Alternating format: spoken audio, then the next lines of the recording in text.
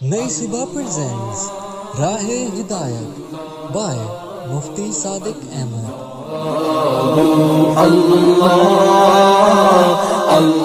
असलकम वरहमतुल्लाहि वबरकातुहू सामीन कराम, आज के सेशन में जुल्करनैन के वाक़े का हासिल और उन तमाम सिफात का मजमू आपकी खिदमत में पेश करने जा रहा हूँ। अल्लाह ताला ने हज़रत जुल्करनैन को ज़मीन में इकतदार और तमक्न बख्शा था। तमाम वसाइल व से नवाजा था, जिनको उन्होंने लोगों की बेहतरी, इसलाह और सलामती के लिए बेगरज इस्तेमाल किया।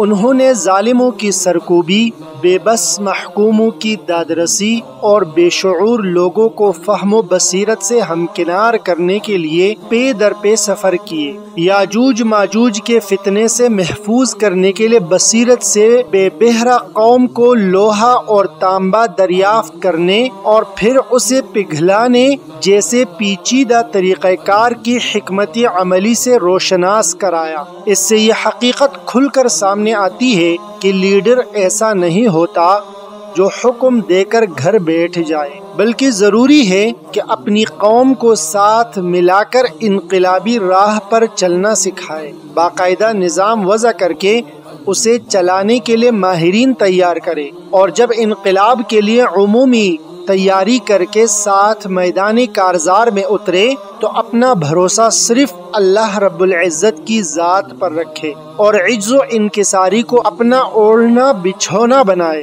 अल्लाह ताला के वली की यही शान होती है कि वो कौम को अमन व आश्ती से हमकिनार करता है। उन्हें एक निज़ाम में परो कर ऐसी मज़बूत दीवार की मानन बना देता है, जिसे क़ियामत तक कायम रहना होता है। अपनी इस जद्दोजहद के नतीजे में हासिल की गई कामयाबी को वो अल्लाह रब्बुल इज़्ज़त से ही मंसूब करता है और अपनी कामयाबी व सुरखरुई को रब्बी कायनात की नवाजिश तस्वूर करता है। जैसा कि हज़रत जुल्करनैन ने जब लोहे और तांबे को पिघला कर दीवार तामीर कर दी तो फरमाया रहमत मिर रब्बी ये मेरे रब की जानब से रहमत है।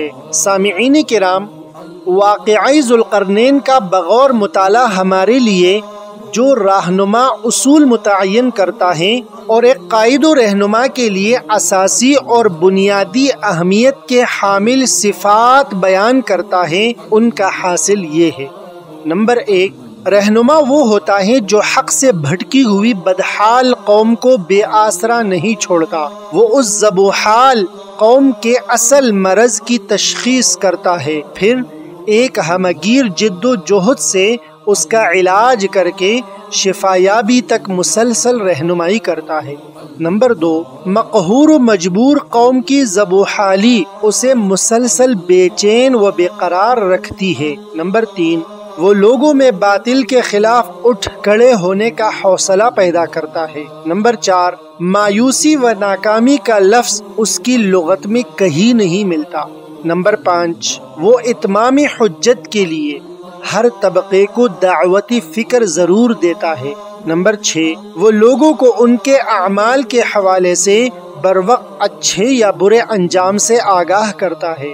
नंबर सात, अपनी जिद्दोजहद में उसकी नज़र अल्लाह रब्बुल इज़्ज़त की ज़ात पर और अल्लाह के करम पर होती है। नंबर आठ, वो दुनियावी मालो मता का हरीस हर गिज नहीं होता। नंबर नौ, उसकी हैसियत लाचार और मजबूर कौम के लिए एक मसीहा की सी होती है।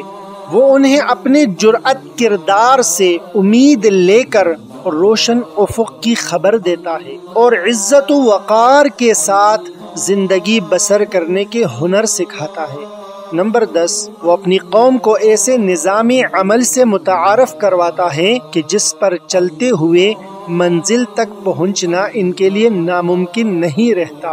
नंबर ग्यारह, ऐसा कायद अपने कारकुनों को कभी तनहा नहीं छोड़ता, बल्कि उनके अहवाल को बदलने में शब रोज कोशा रहता है। वो अपनी शख्सियत, किरदार और फ़िक्र से उनकी तरबियत करता है और उसकी तरबियत हर पहलू में फ़ेज़ रसानी का बाइस होती है। नंबर बारह, हकीकी लीडर वही होता है जो अपनी सलाहियतों को बरोकार लाते हुए मुआशरे को हज़ारों लीडर दे जाता है। उसका हर मुतहरिक साथी अपने कायद की कायदाना सलाहियतों का नमूना बन जाता है। इनके कुलूब अजहान पर अपने कायद की सिफात, तवज्जोहात और कायदाना सलाहियतों का रंग झलकता दिखाई देता है।